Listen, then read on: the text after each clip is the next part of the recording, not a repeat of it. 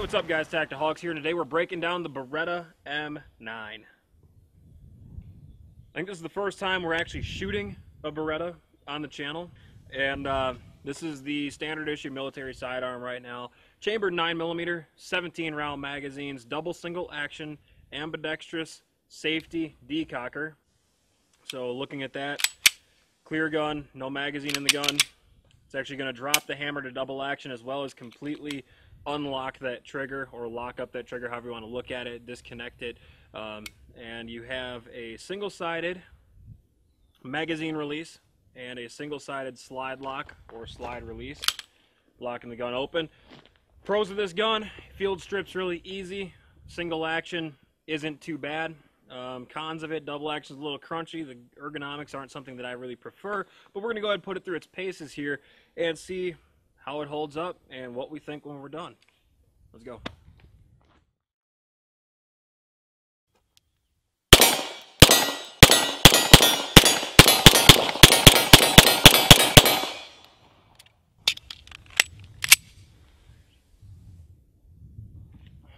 There's the problem right there, guys.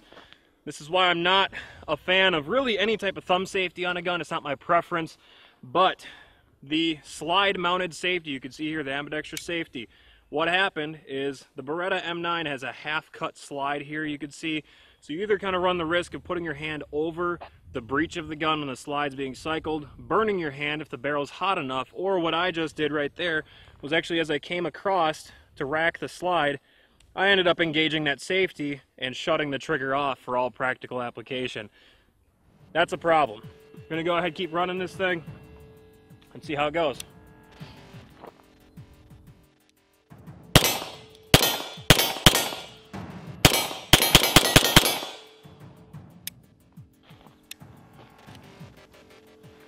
So far, you know, the, the single action trigger really isn't too bad.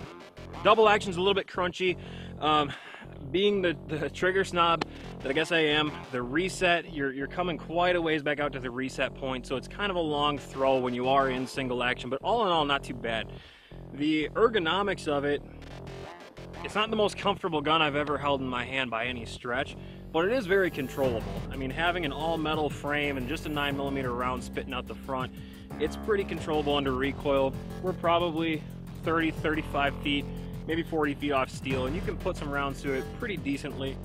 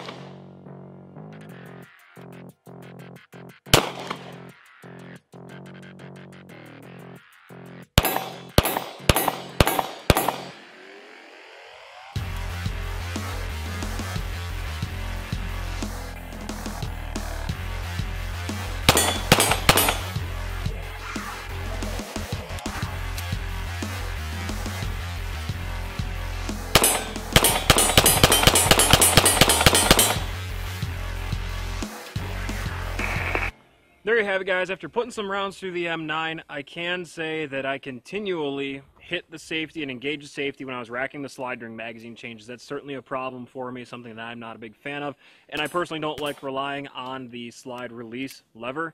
So that's one of the negatives to the gun.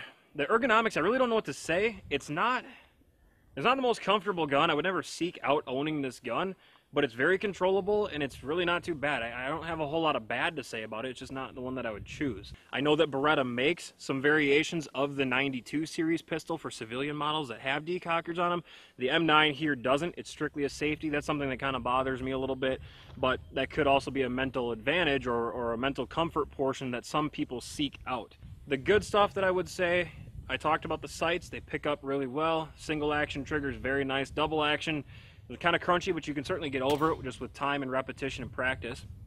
But the big thing that I will say that I can back Beretta with and that I, that I believe is the reliability of this gun. Our buddy Dylan, who loaned us this gun for the test, said off camera is, you know, you can shoot these guns up and yeah, they'll jam occasionally or the ammunition will malfunction, but the reliability that he has seen in his time overseas in the military is uh, incredible. So the longevity, you're getting a lot of bang for your buck in that regard when you're choosing something like the Beretta M9 or the 92 platform.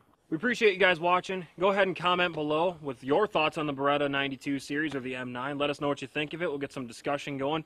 And be sure to like, comment, and subscribe to Tactiholic. Share us around, help us get the word out with our videos, and we'll see you next time because we never quit.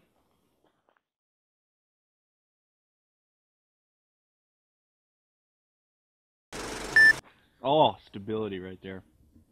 It's fantastic. Oh, now I got the gun. The gun. gun. Good. Oh god, yeah. You look amazing. Am I in front of this enough? Does it look nice? Because I feel like the black is going to stand out really nice against Rusty.